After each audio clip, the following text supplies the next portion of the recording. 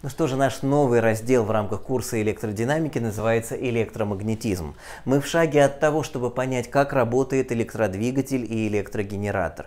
Мы в шаге от того, чтобы понять, как устроена рамка металлоискателя и почему ходят поезда на воздушной подушке, как устроен трансформатор. Все это основано на принципе э, преобразования переменного магнитного поля в переменное или, как говорят, вихревое электрическое поле. Итак, мы занимаемся именно этой темой, взаимосвязью магнетизма и электричества, и тема наша называется электромагнетизм. Первый шаг в изучении этой темы мы делаем сегодня, когда обсуждаем ЭДС в движущемся проводнике. Я надеюсь, что ты помнишь, что ЭДС – это электродвижущая сила. Итак, если проводник движется в магнитном поле, он начинает работать как батарейка. В нем начинает производиться вот эта самая электродвижущая сила, заряды в нем начинают разделяться. Обычно, э, говоря об этой теме, все приводят пример с летящим самолетом. Когда самолет летит, а летит он, естественно, в магнитном поле Земли, между крыльями самолета образуется электродвижущая сила. Я прошу тебя подумать, после того, как ты посмотришь этот ролик, о том, можно ли использовать эту самую электродвижущую силу, которая возникает между крыльями самолета. Или же э, никакого промышленного применения этой ЭДС в случае самолета быть не может. И еще я хотел бы обратить твое внимание на такое устройство, как рельсотрон или рейлган, как его называют американцы, это устройство, о котором говорил о возможности использования которого говорил русский академик Лев Андреевич Арцемович. Эту идею поддержали и американские и русские ученые, попытались сделать э, некое оружие, которое основано на том, что проводник разгоняется в магнитном поле. То есть э, изучать движение проводников в магнитном поле. Это интересно и важно как в мирных целях, так и в целях повышения обороноспособности страны. Кстати сказать, э, советую тебе посмотреть какие-то ссылки и понять, э, что идея с рейлганом, она ну, как такового применения на данный момент серьезного не нашла. Но давай разбираться, откуда же берется электродвижущая сила в проводнике. Рассмотрим проводник. Ну, допустим, это самолет, который летит со скоростью v в магнитном поле. Мы с тобой понимаем, что берем мы только одну из составляющих магнитного поля Земли, составляющую, которая перпендикулярна скорости. Я так и запишу, что это v, b, прости, это b перпендикулярная. Э, ну, в реальности магнитное поле Земли имеет составляющую, которая направлена вдоль скорости, и имеет составляющую, которая ей перпендикулярна. Мы с тобой уже знаем, что смысл имеет только перпендикулярная составляющая. А теперь начинаем рассуждать. Я очень тебя прошу это рассуждение.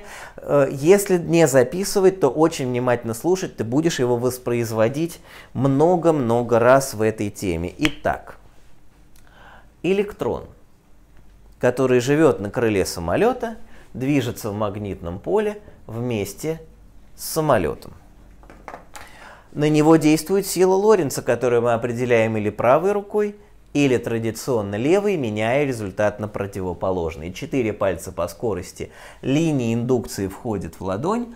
Вот наверх пошла бы частица положительная, а вниз будет двигаться электрон под действием силы Лоренца. Итак, электроны сосредоточатся здесь, а если электроны сосредоточатся внизу, то наверху будет область, объединенная этими электронами, по-русски говоря, коротко положительная заряженная. А дальше возникает вопрос, до каких пор электрон будет двигаться под действием силы Лоренца. И разумный ответ, он будет двигаться так до тех пор, пока сила Лоренца не будет скомпенсирована другой силой, электрической. Ведь Друзья-электроны не очень рады видеть в своей компании новый электрон, потому что они одноименно заряжены и стремятся оттолкнуться. Именно эту мысль я сейчас запишу на доске о том, что электрическая сила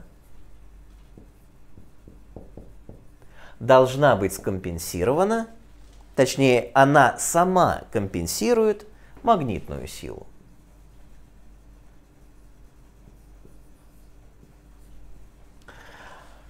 Сократим на заряд электрона И теперь вспомним, что напряженность электрического поля связана с разностью потенциалов. Как? Давай вспоминать. Что у нас с тобой выступает в роли дельта x? Согласись, что в роли дельта x у нас с тобой выступает размах крыльев этого самолета. L, я буду его обозначать. А еще прошу тебя обратить внимание на то, что ЭДС и дельта фи в нашей с тобой задаче это одно и то же. Потому что э, это разделение происходит благодаря какой силе? Магнитной. То есть сторонней, не электрической силе. Итак, дельта фи по модулю это Е на L – Пожалуйста, не путай заряд электрона, который мы сократили, и L. Я постараюсь сделать ее такой вот гипертрофированно, чтобы мы ее не, не спутали. А, так, и пришла пора нам с тобой заменить. Я сотру, а тебя прошу переписать. Заменить букву Е на букву эпсилон, деленное на L.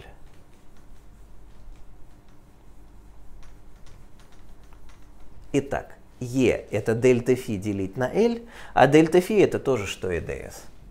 Итак, это эпсилон, деленное на L.